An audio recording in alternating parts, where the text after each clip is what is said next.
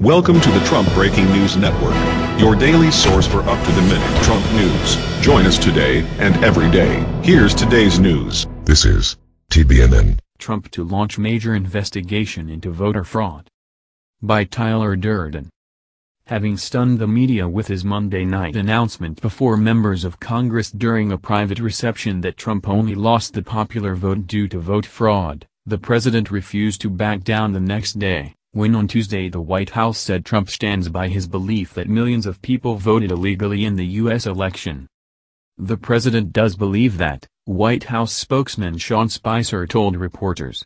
The press secretary said the president had said 3 to 5 million people could have voted illegally, based on the studies that he's seen although he did not quote the studies. Fast forward to Wednesday morning when anyone who wondered if Trump would let go of this particularly sensitive issues which attacks the legitimacy of his presidency, got their answer with a series of two tweets by the president, who shortly after 7 a.m. said that he will request a probe into U.S. voter fraud to resolve the ongoing back and forth once and for all.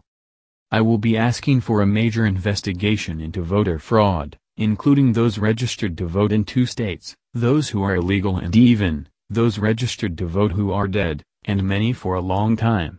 Depending on results, we will strengthen up voting procedures. Trump's proposed investigation will likely be undertaken by the Department of Justice, whose new head, Jeff Sessions, has yet to be confirmed. As noted above, this thread started on Monday night when Trump said he lost the popular vote because of rampant voter fraud by illegals. He said 3 to 5 million illegals voted so that's why he lost popular vote, a Democratic aide said. The president made similar claims and tweets he posted after his victory. In addition to winning the Electoral College in a landslide, I won the popular vote if you deduct the millions of people who voted illegally, he tweeted after Election Day.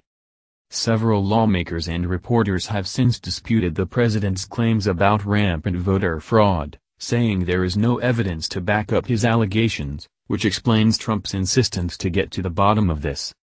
Since the topic of voter fraud was widely cast by the mainstream press as falling under the fake news umbrella during the presidential campaign, Trump has just waved red, dripping meat before the U.S. media which will dutifully focus on this one statement, while putting all the other things to come out from the Trump administration on its third working day, on the back burner especially since on December 1, the Trump legal team, commenting on the Stein recount, said all available evidence suggests that the 2016 general election was not tainted by fraud, mistake. That's the news. Join us here every day. Be sure to subscribe and click the bell. See you next time. This is TBNN.